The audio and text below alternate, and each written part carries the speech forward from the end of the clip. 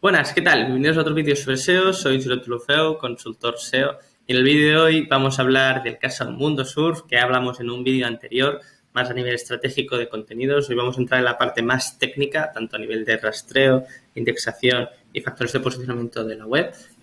Y obviamente, teniendo en cuenta también la arquitectura de la misma, tratando estos temas un pelín más técnicos y cómo se trabaja el traspaso de autoridad. Muy importante, sobre todo en los e-commerce y al final en cualquier tipo de web, sobre todo para priorización de negocio, ¿no?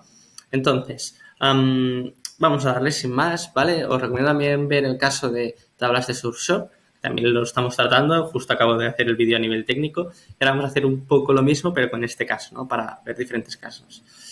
Eh, si no me equivoco, en el caso anterior que vimos de tablas de Surfshop, uh, era un, un, un perdonad por el lapsus, y en este caso, si tampoco me equivoco, esto era un PrestaShop, ¿vale? Lo vemos, PrestaShop e-commerce open source solution, ¿vale? Con lo cual, ¿a qué diferencia del otro, uh, del otro robots.txt, que también lo voy a abrir, ¿vale? Para seguir reforzando estos conceptos que tratamos en el vídeo anterior con más ejemplos. Aquí vemos cómo sí que lo están trabajando bien. Ya no bien, sino lo están haciendo de forma más limpia, ¿vale? Voy a esconder esto. Más limpia donde están separando las diferentes uh, tipologías de páginas que están bloqueando. Veis que aquí ponen files, di directorios, private pages, páginas privadas, user agents, ¿vale? Eh, y aquí tienen el sitemap. Pues mirad, aquí una buena práctica es que lo están segmentando muy bien, incluso lo hacen por idiomas, ¿vale? Y por otro lado, uh, lo que están haciendo también muy, muy bien, ¿vale? Es la parte de enviar el sitemap, pero lo de siempre, ¿no? En este caso sí que lo hace muy bien a través de su shop, que lo está segmentando por países, y aquí a las dos partes lo que les faltaría es hacer lo que comentamos, ¿no? De segmentar en base a las plantillas, categorías, productos, artículos de blog, si se trabaja el blog. ¿Vale? Entonces, con esto teniendo claro cómo están trabajando, están trabajando Robots.txt, sí, están trabajando luego genial, vamos a hacer un poco lo mismo que hicimos con el caso anterior, ¿no? Entonces vamos a ir a, Mundo Sur y vamos a ver temas relacionados con el traspaso de autoridad, uh, el rastreo e indexación. Y un poco lo mismo que de siempre que comentamos, ¿no? Uh, estamos viendo que genial, están poniendo no follow, a contáctate y crea una cuenta, lo cual es bueno, es una solución, no es la mejor, y la mejor es lo de siempre, es ofuscar ¿vale? Para no traspasar autoridad a nivel de PageRank, pero con el nofollow, a corto plazo, lo que evitamos es que Google se vaya a buscar estas URLs. Con lo que lo más seguro es que si todo es la parte de contacta o My Account, que aquí lo tienen, no, lo veis, ¿no? My Account, que también aquí es My Account, lo bloquean. Aquí vemos que tiene inicio y lo mismo, esto es un enlace redundante que también vimos en el caso anterior, lo cual no sería incluso eliminarlo, porque ya lo tenemos aquí, ¿vale? y la pata, perdón, de los idiomas que está bien a, nivel de SEO internacional, ¿vale?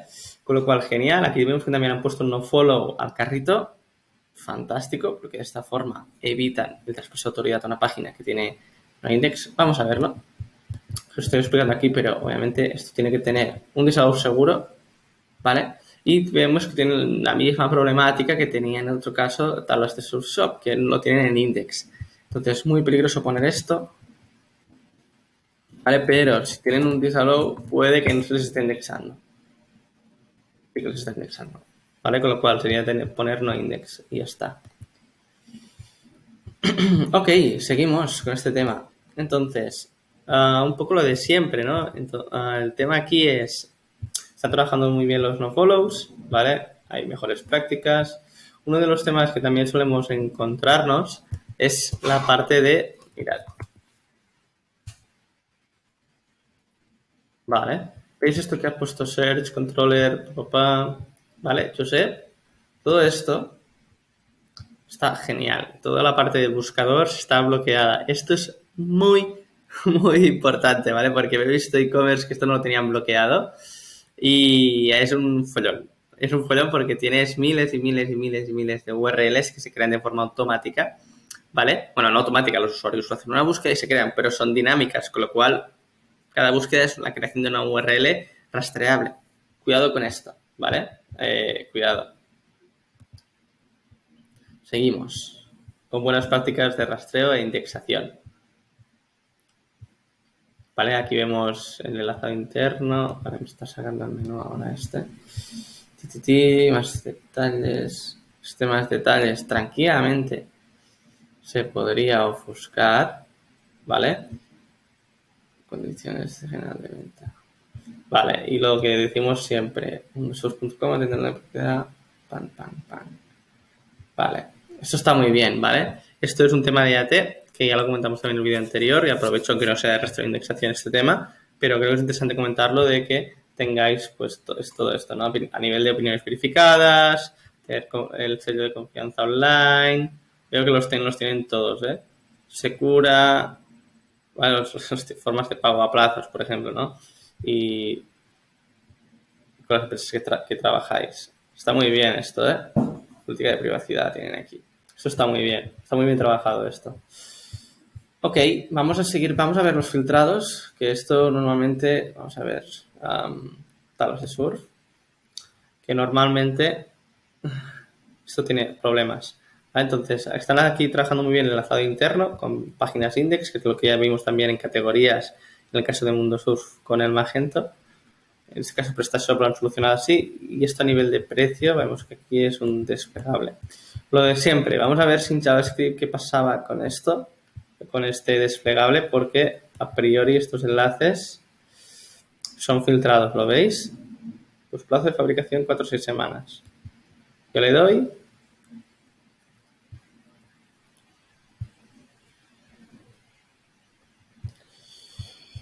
Está hecho con JavaScript. No index, genial, no index, pero ¡pum! Por robots. Esto lo tenemos que bloquear porque si no son un montón de URLs que se están rastreando, ¿vale? Todos los filtrados. Eso está también bien solucionado. Vamos a ver el caso de neoprenos para compararlo con el vídeo anterior, también que lo hicimos con el caso de neoprenos de hombres. Pero es lo que comentamos, ¿no? El tema de las marcas. Pues las marcas siempre hay búsquedas de marca. Neopreno hombre, Billabong, Quicksilver. Siempre hay búsquedas. Entonces, ¿qué pasa? Es un enlace JavaScript, lo cual, matiz, si esto fuese una página indexable, que podría ser, eh, estamos haciendo un, traspaso de autoridad, un enlace con JavaScript, el cual casi nunca son rastreables, no llegan a ser rastreables por Google. Los enlaces siempre tienen que ser con H, href, ¿vale? Tengo, siempre pienso con la herramienta, pero esto es el tema, ¿vale? No, tiene sentido que hagamos enlaces a páginas indexables con JavaScript. En este caso es JavaScript, está en no index, así que no hay ningún problema, pero lo mismo, si no queremos que se indexe, tenía que estar en, en bloqueado por robots.txt la, marca, ¿vale? Em, obviamente, lo que nos interesaría sería que Neopreno Quicksilver se, se indexase y tuviese recursos de autoridad, como CPC componentes y los de siempre. ¿Vale? Con lo cual, vemos que tienen la misma problemática de filtrados, tienen todos filtrados en JavaScript, únicamente son, indexables y traspasan autoridad estos enlaces. No entraremos mucho porque tiene mucha relación con lo que comentamos anteriormente. Lo mismo suele pasar con esto.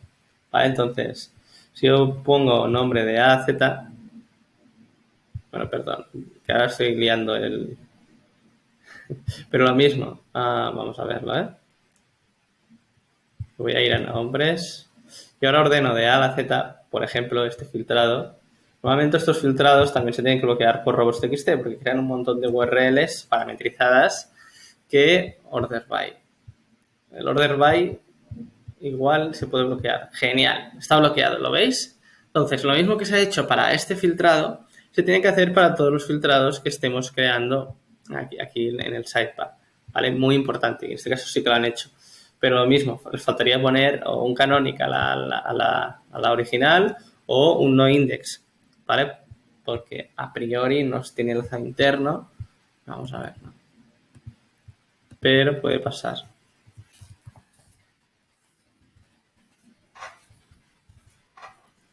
Por el tema de saturación de indexación, ¿eh? a nivel de rastreo no es ningún problema.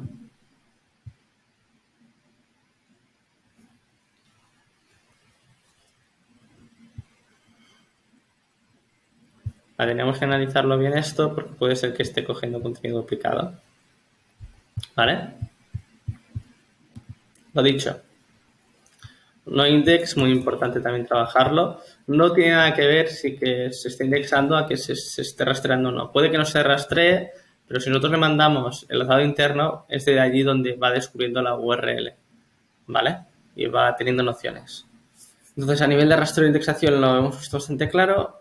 Vamos a, cerrar el vídeo analizando el, sitemap, ¿vale? Si os acordáis. Siempre de la raíz, ¿vale? nunca de, desde una carpeta robots.txt, siempre cuelga de la raíz el robots.txt. Y me voy a buscar el sitemap.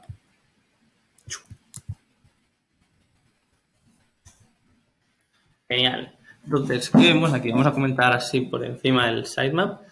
Vemos en los diferentes, tiene uno, España, francés, Portugal, Alemania, Italia y Netherlands. Si ahora me voy aquí.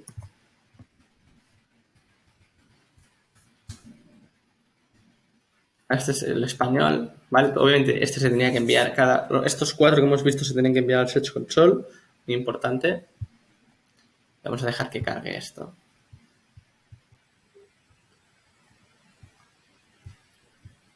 Esto voy a cerrar. Y mientras vamos a ir viendo otras patas de la web a nivel de rastreo y indexación, traspaso de autoridad a nivel de arquitectura.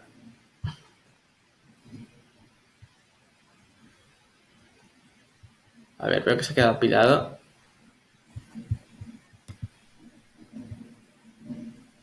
perdona, te voy a poner pausa. Que se está apilando el ordenador.